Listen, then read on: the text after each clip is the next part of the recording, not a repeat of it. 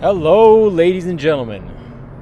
It feels like a century between podcasts.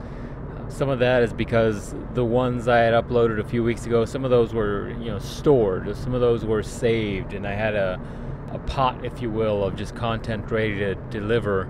And as of late, it has been difficult to find time.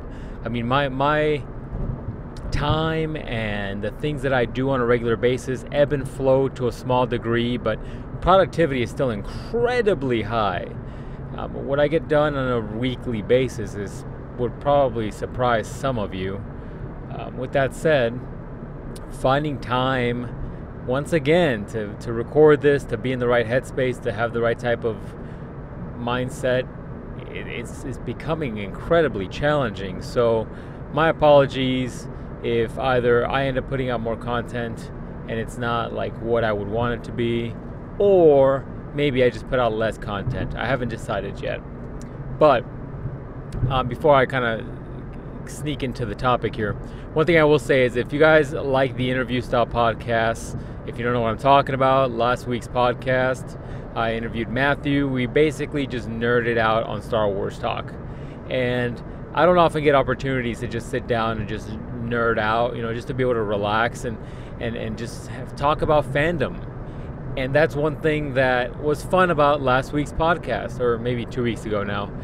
And because of that, um, it did have a different feel for me when I'm talking about the content. It had a different, I don't know, overall mood to it, if you will. But I still enjoyed it, and, and I would like to do more of those. Just just the the back and forth, maybe Q and A, uh, Q and A, yeah, Q and A stuff, questions and answers. That would be fun to do a little bit more of. Uh, but for sure, I'd love to do interviews. So if you know me or have heard this podcast and don't know me, but would like to talk about something, hit me up. I'm always open for ideas. Always interested in getting people's perspective on things, even if they don't uh, match my own. I'm always very interested in getting other people's perspective. As I mentioned a million times on this podcast already, but I will do so once more.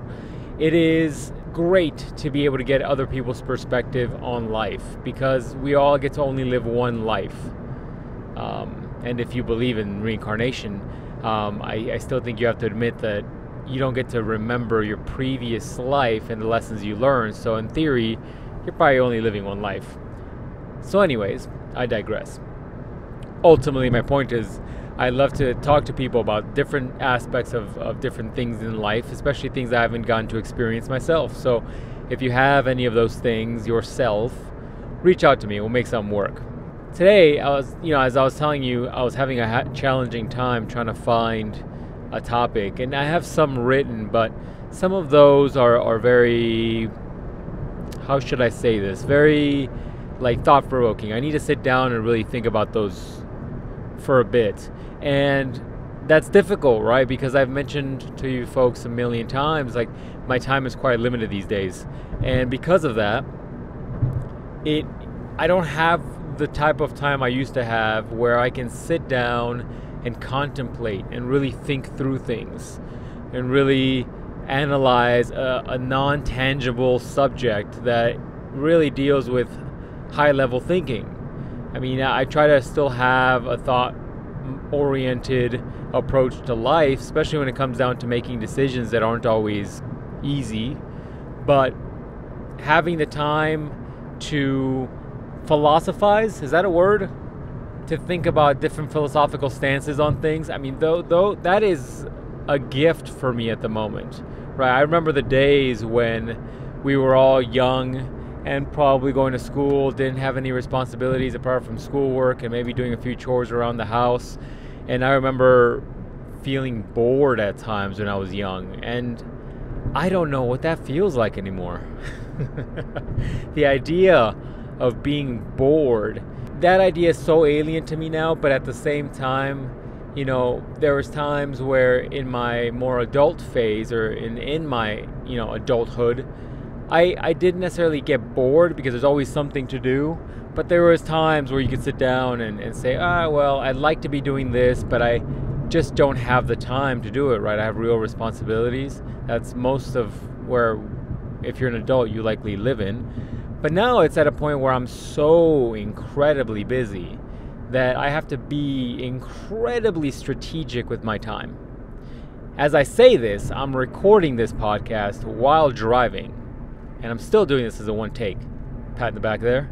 Anyways, um, ultimately, I, am having to be efficient with my time. And while um, I no longer get bored because I don't have time to be bored, this is something different, right? This is something where I'm getting to maximize my time frame because otherwise, y'all won't have any content. There's a lot of things in my life right now that are likely not going to get done if I don't try to maximize my time in every aspect possible.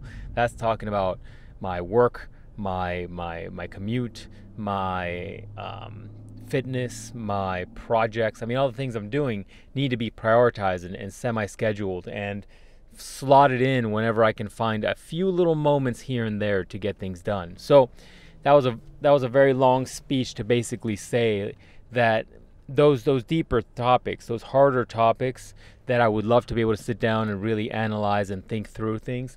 Those are harder things to do right now because I don't have the time to like sit down and, and, and drink a cup of coffee and, and really just think on a borderline philosophical level about high level topics that maybe will in turn turn into a lesson or an idea to bring forth to this podcast.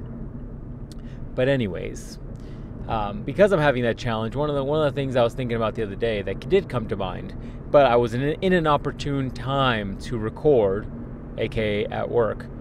Um, I was thinking about, and some of you are rolling your eyes and know I have this little mini recorder I take with me almost like a security blanket. It's just hard to step away because lately work has been incredibly busy where I'm literally one after another, after another, after another, where my eight plus, plus, plus, plus, plus hour days feel like two, to give you an example. But back to the topic. One of the things I was thinking about at work today, the other day, was I, I work and come across and meet a lot of very educated people, and they have high-level degrees, they they PhDs, MBAs, doctorates, whatever, and very very awarded people, I guess I would call it. Well, what's a better way of saying that? people that have committed to a high level of education and have accomplished it. And I also meet people that literally lives depend on their abilities to do things. And so it may it, but, but in talking to these people, it's really fascinating because they're not all bright. that's that's kind of mean in a way, but it's not meant to say that they're dumb. They're not dumb. They're intelligent um, but I think there's levels to the game, as I mostly talk about in this podcast. To me, to me, there is a far, far, far different thing when we're talking about all of these different aspects.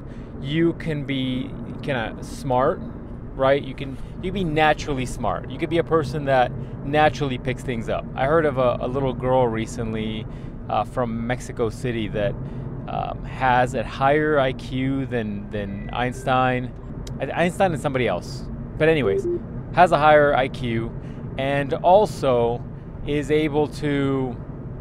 Um, and she's only like 15, or no, actually younger than that. So my point to this is saying like you could be smart. I would define that as as as intelligent, right? She's naturally gifted in that. She's she just was born with it and there is certain gifts that people are born with and they're not all the same and she's likely one of those that she's just very smart and once again like these aren't hard set de- definitions but that's how i'm defining them at least for this podcast there are other people who are intelligent i would define them as like the people who who have developed a level of intelligence if you will via their consumption of information and education. Right? Those are those are the people that you took them through a nursing program, and in that nursing program, you develop them to be a nurse, and they are intelligent in that field, and they are capable, and they are responsible, honestly, for saving people's lives. And so that's another another level of it. The third piece, the third type I would define is wisdom. Wisdom is acquired in my opinion through different things. A lot of it is a lot of self-idolization, a lot of it is through experiences, through hardships. Um, those are things that are sometimes only acquired after a active want to developing an idea, your brain, your your comprehension, but also sometimes through being a byproduct of your circumstances of life.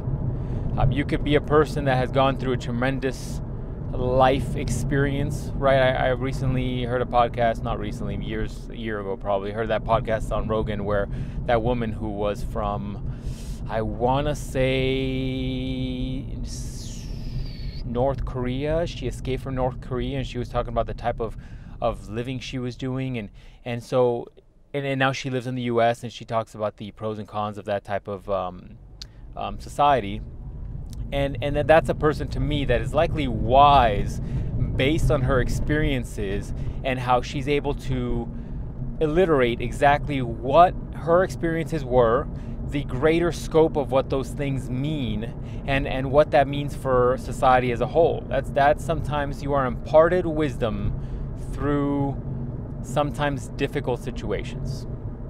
And so if we take the three definitions of what I just told you, I mean, hopefully I did a good job of explaining to you exactly what those things meant mean in my head and, and what how to differentiate each of them. And the, the whole reason for doing this is that I think for me, people sometimes misconstrue one for the other for the other and think they are very um, smart or intelligent just based on their regurgitation of a few little details here and there from whatever news source they pick. Or they think they're smart and intelligent because they have um, X degree, right? And depending on the circumstances and depending on the type of person you're trying to be and depending on the lifestyle you're trying to have and depending on the readiness and preparedness that you're trying to have in this life, whether it's through your career and educational means, whether it's your ability to def- take care of yourself and defend yourself, whether you want to be a street smart style person, you need to leverage each of those, um, how should I say, those um, types of intelligences in a way that would benefit you.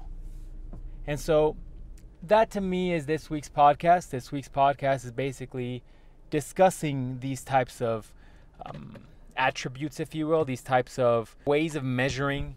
Realize where you're putting your eggs in your basket, where your strengths and your weaknesses are, and what you're trying to progress, and be very clear about that. Just because you have X degree doesn't necessarily mean that you are naturally smart, or just because you have um, this sort of skill doesn't mean you're necessarily wise. And, and be aware that even for this podcast or any other podcast you're getting knowledge and education from and and and life lessons from are you have to really dissect those a little bit as to where that person's coming from. What stance are they coming from? Whether they're coming from a just a naturally smart person that says lived things and maybe has a, a hint of wisdom, or or maybe it's a person that's just wise because of their experiences and, and you have to dissect that on whether or not those are applicable for your life or whether it's a person that has a, a an intelligence due to their study in an X field and they're trying to tell you about the field but they've researched the field right? These are all things to think in, keep in mind when you're talking with people and, and, and these are also skills you could apply to your day-to-day with